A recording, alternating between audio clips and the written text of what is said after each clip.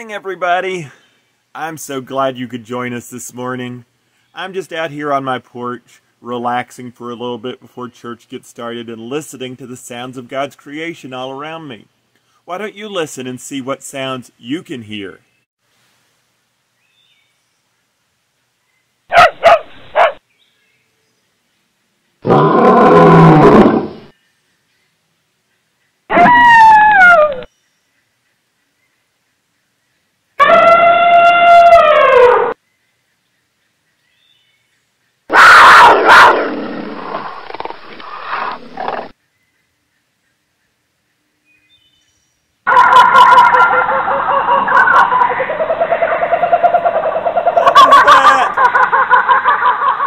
What that? Those were some pretty crazy sounds. What did you hear? I couldn't believe I could hear all that from my porch. You know, you never know what you're going to hear if you just stop and listen. Sometimes we need to stop and listen for the voice of God. Pastor Myron's going to be talking today about how Samuel listened to hear God's voice.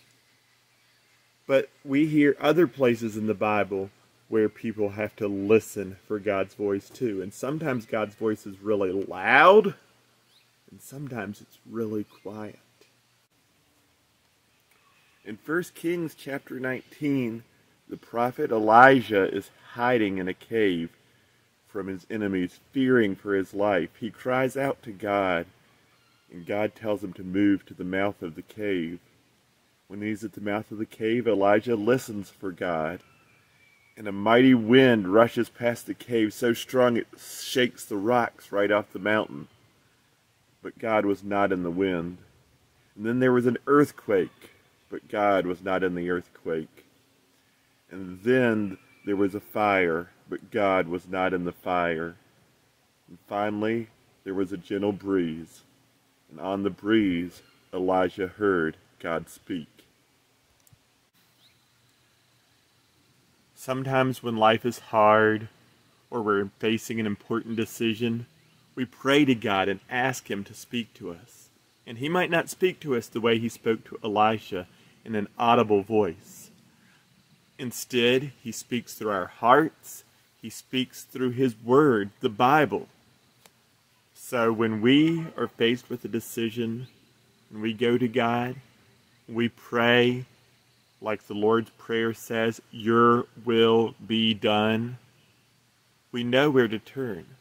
We know what is right. We know what God wants because He has already told us in His Word and in our hearts. So listen today. Be still, be quiet, and hear what God is saying to you.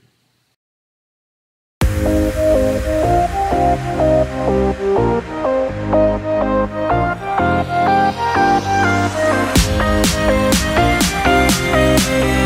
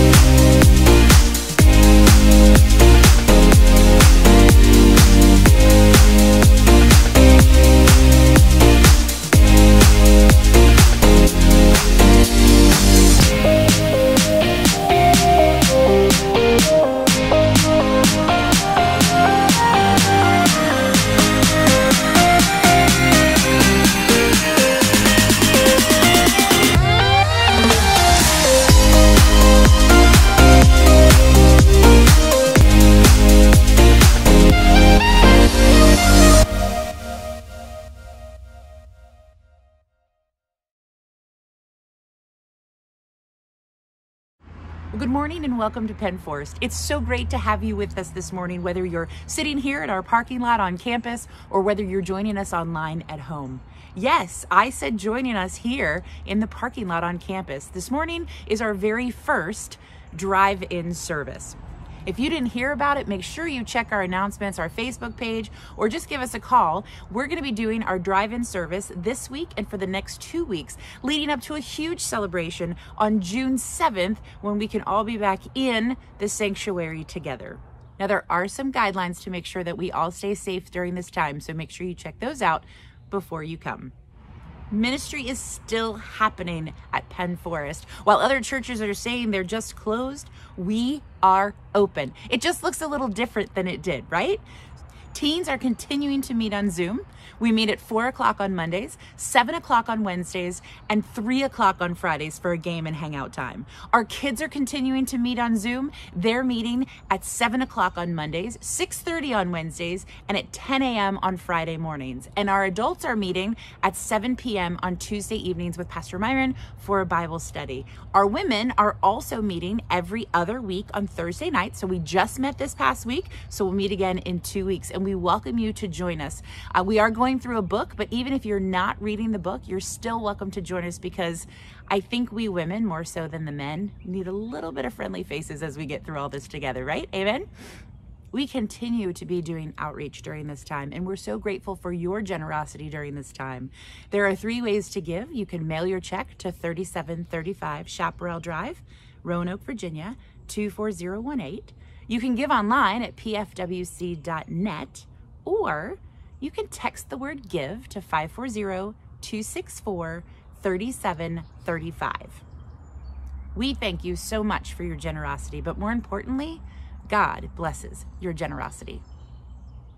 Well, I don't want to take up too much more of your time this morning because we've got great worship and a great message this morning. Big thanks to Jonah and Melody Atkinson from Eastview Wesleyan Church, who are helping us, continuing to help us with our morning worship so wherever you are this morning, raise your voices in a joyful noise to the Lord.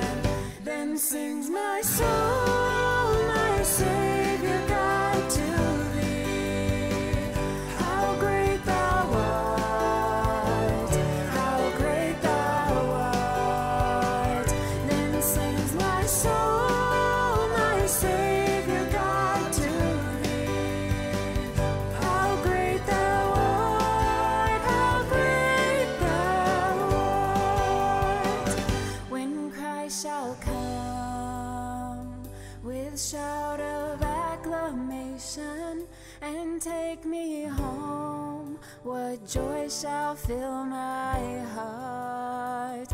Then I shall bow.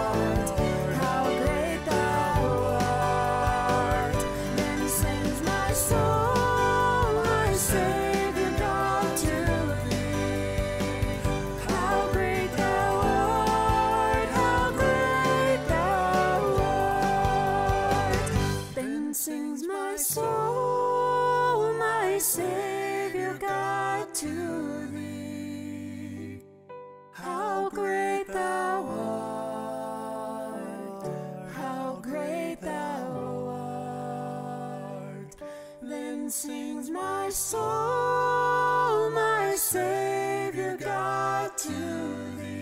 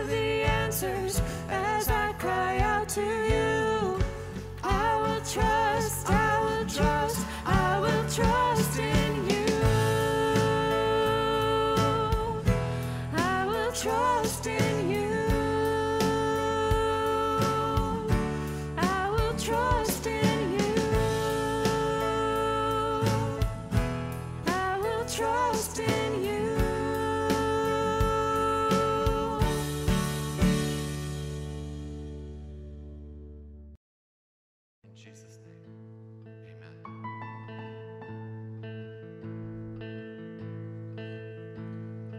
I've heard a thousand stories of what they think you're like, but I've heard the tender whisper.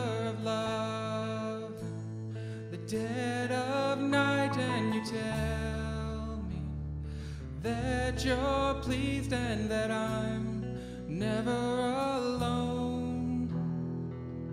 You're a good, good father. It's who you are. It's who you are.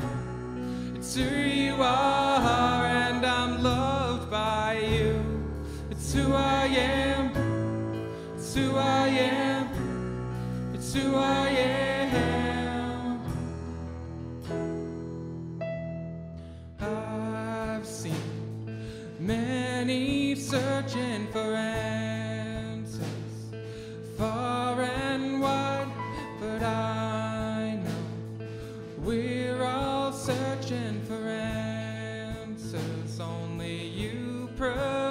because you know just what we need before we say a word. You're a good, good father.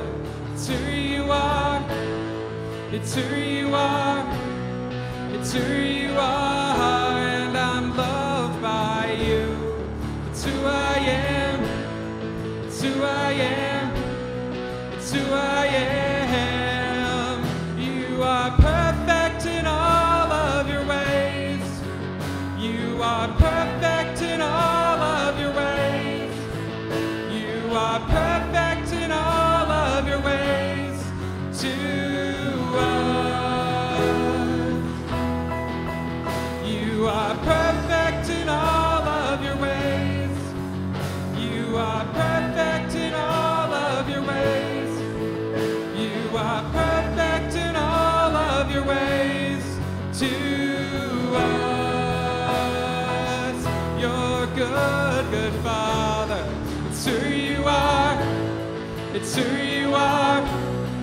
It's who you are, and I'm loved by you. It's who I am. It's who I am. It's who I am.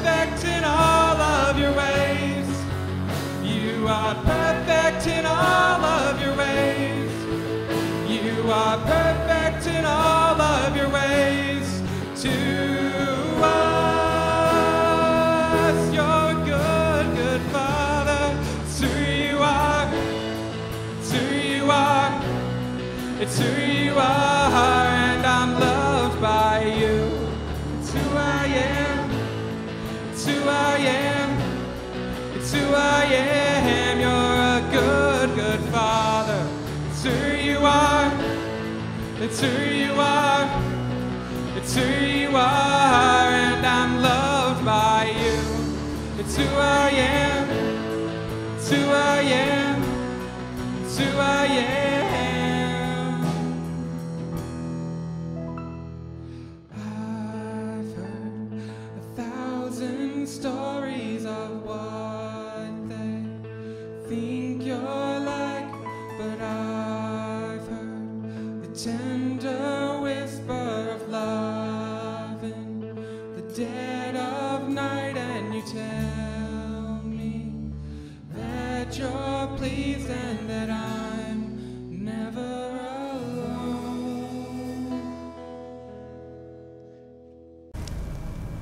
Good morning. Thank you so much, uh, Jonah and Melody and the Eastview Praise Team.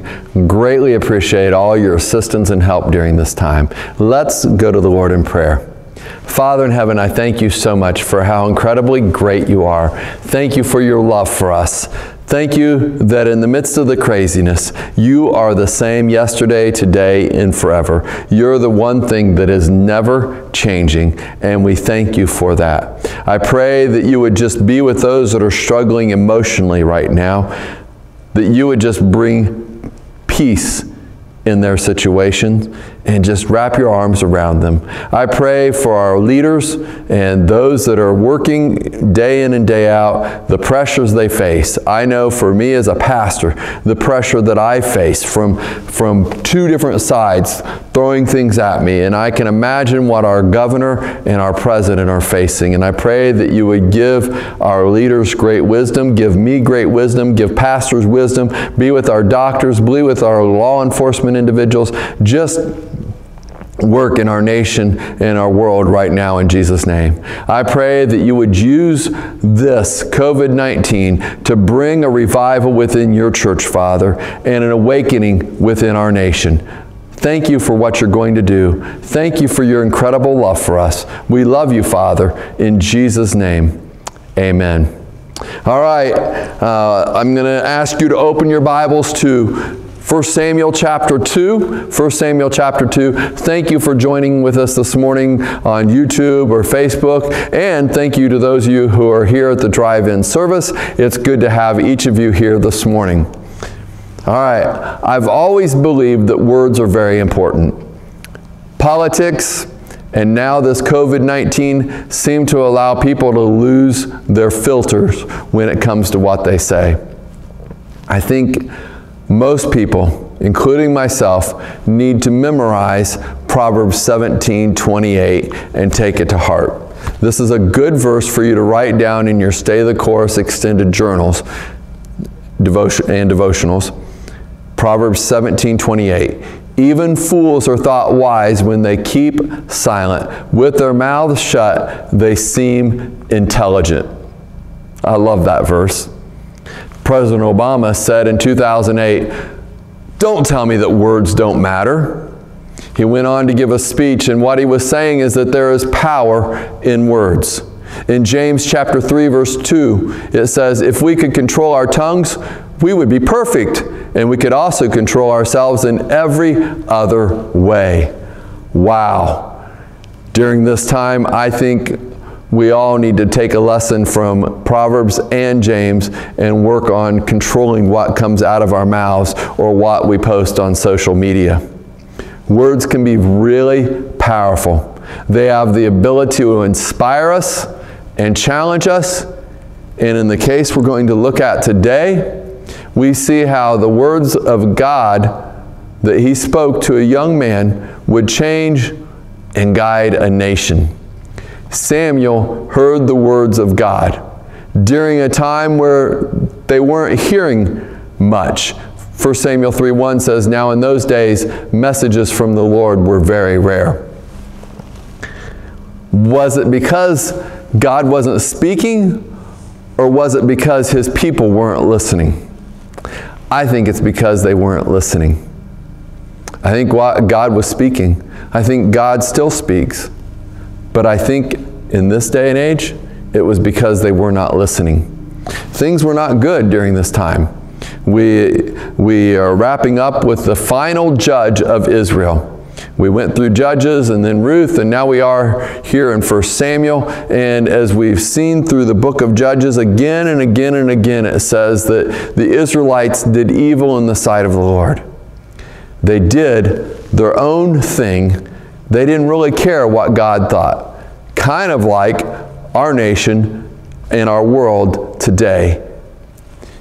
Even though the messages from God were rare, it didn't mean they didn't happen. We can see again and again where God spoke.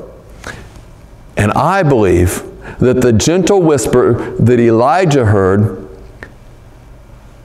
was speaking even then and waiting for someone to tune in to the right frequency, just like those here at the drive in service needed to tune in to 102.9.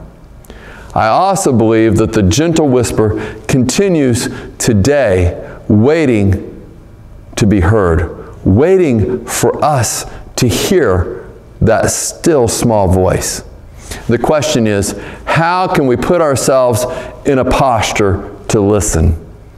I've heard again and again how posture is really important to our physical health. Well, spiritual posture is important to our spiritual health as well. And I think we can learn from this young boy, Samuel, about a spiritual posture. Last week, Heather spoke about Hannah and how she pleaded with God for a little baby, for a child. And she makes a deal with God saying, If you give me a child, I'll dedicate him to you. The boy's name was Samuel, and she placed him in the care of Eli the priest. And this is where we begin today in 1 Samuel chapter 2, beginning with verse 18. It says, But Samuel, though he was only a boy, served the Lord. He wore a linen garment like that of a priest. Each year, his mother made a small coat for him and brought it to him when she came with her husband for the sacrifice. Before they returned home, Eli would bless Elkanah and his wife and say, May the Lord give you other children to take the place of the one that you gave to the Lord. And the Lord gave Hannah three sons and two daughters. Meanwhile, Samuel grew up in the presence of the Lord. Verses 22 through 25 switch from Samuel and deal with Eli's sons and how wicked they were and what they were doing. But then you hop all back to verse 26 and it says, while they're doing evil things, it says, Meanwhile, the boy Samuel grew taller and grew in favor with the Lord and with people. So, my question this morning is how can we put ourselves in a posture to listen? How can we put ourselves in a posture to listen? The first thing I see in looking at the pasture, passage, excuse me, not pasture, passage, is Samuel separated himself from evil. He separated himself from evil. He could have been out there with Eli's sons doing all sorts of things, but he separated himself with e away from evil. Samuel is living with a mentor, Eli, but I'm sure he probably looked up to Eli's sons.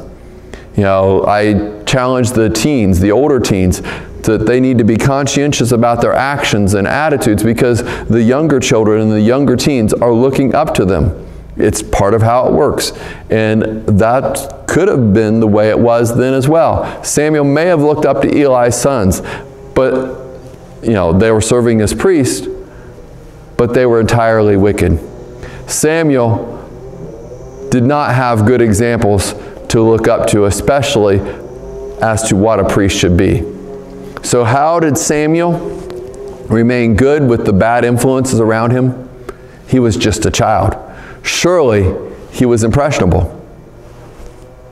I believe he made a commitment early on, early on, that he was going to relentlessly pursue God. He made a commitment early on that he was going to relentlessly pursue God and not the things of this world. I've told teens and adults that you can't wait until you're in the middle of a situation to make a decision. You've got to think through it before you make the decision or you get to that decision point. Kind of like why we have tornado drills and fire drills, so that we can be prepared when we get in that crisis. Think through what we're going to do. Samuel thought through. He chose not to participate in sin and risk being ridiculed by people here, possibly even Eli's sons. But he was more concerned about what God thought. More concerned about what God thought than others thought. How often are we more concerned about what everybody else thinks than we are about what God thinks? I love the quote that I have said hundreds of times from John Wesley Give me 100 people who fear nothing but sin and desire nothing but God, and I will change the world. Samuel feared nothing but sin and desired nothing but God. Not only did Samuel separate himself from evil, but we also see that Samuel built himself a solid reputation by striving to draw close to God. In verse 26, it says, Meanwhile, the boy Samuel grew taller and grew in favor with the Lord and with people. While Eli's sons were losing favor with God, doing their own thing, and they were losing favor with people because of how they were treating them, Samuel was gaining in support of both. People were beginning to trust him, and God was realizing and knew he could trust him as well. By growing in favor with God, he's continuing to get to know who God is.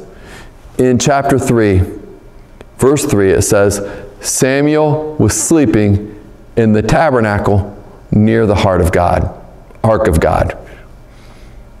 He wanted to stay close to God, and by so doing, God blessed him. He wanted to stay close to God. I loved when Heather was sharing about the drive in service that for her it's an act of worship to come, even if it's just sitting in the parking lot to come to church. It's an act of worship. For Samuel, sleeping in the tabernacle near the ark of God was an act of worship. He wanted to be close to him. And by doing so, he gained a good reputation with God and with people. People knew that they could listen to what he had to say. They knew he was listening to God. They say that a reputation can take years to build, but only a moment to destroy. We must guard our reputations. By having a good reputation, he made himself more reliable source for God because he was fleeing from sin, and people believed that he would hear from God. In chapter 3, we find that God calling Samuel. Samuel runs to Eli uh, three times to inquire what he needs. And it's the third time that Eli has this aha moment. And the light bulb turns on in his head. And he's like, Oh, I understand. And in verse 8, Eli says, or Eli realized, it says, Then Eli realized it was the Lord who was calling the boy. So he said to Samuel, Go and lie down again. And if someone calls again, say, Speak, Lord, your servant is listening. So Samuel went back to bed. In order to listen to God, not only do we need to separate ourselves from evil, and not only do we need to get to know God, but thirdly, we have to have an expectation of hearing from God. Verse 10 says, And the Lord called as before, Samuel, Samuel. And Samuel replied, Speak, your servant is listening. Do we have an expectation, church, to hear from God? Often we pray, but we don't really expect Him to answer. In James chapter 1 verse 6 and 7 it says, "But when you ask God, be sure that you really expect him to answer, for a double-minded man is unstable in all of his ways." Hmm. A double-minded man should not expect to receive anything from the Lord. I believe that we, you and I, his church will be in a posture to hear from God if we separate ourselves from sin. We fear sin above everything else and desire God above everything else. Number two, we get to close to God and we build a good reputation with Him by drawing close to Him. And number three, we have an expectation of hearing from God. I believe, church, that the gentle whisper that Elijah heard is still speaking. I believe that the voice that Samuel heard is still speaking. I believe that God is waiting for someone to find the right frequency and hear his voice. Church, are you listening to him this morning? I believe if we are going to see a revival within our church, you and I, we have to do these three things. We have to get in the right posture to listen to God. We need to flee from sin. We need to draw close to Him. And we need to expect that we're going to hear from Him. And as a revival breaks loose here at Penn Forest Worship Center, I believe it will spread to other churches and we will see an awakening break loose in our nation. Is that what you desire? Is that what you long for this morning? That's what I long for. Let's pray. Father, thank you for the example of Samuel in his life, how he fled from sin, how he drew close to you, tried to get as close as possible, and then how he had an expectation of hearing from you. May we do the same this day. I pray that you will use this church, use me, use each individual that is watching this and listening to this this morning to bring a revival in this church. And may we see an awakening in our nation. Thank you for doing it, Lord Jesus Christ. And now may the blessings of God the Father, God the Son, and God the Holy Spirit be upon each one of you. May He make His face to shine upon you this day. May He give you an attentive ear. May He heal your hearing. We have been kind of deafened by all the noise of the world. May He give you and me ears to hear this day and may he fill you with a peace that surpasses all understanding, both now and forevermore. In the name of the Father, and of the Son, and the Holy Spirit, we pray. And together, all God's people said, Amen. Did you say amen this morning? I see it. Good deal. Amen. Amen. Thank you. Have a great week, and God bless.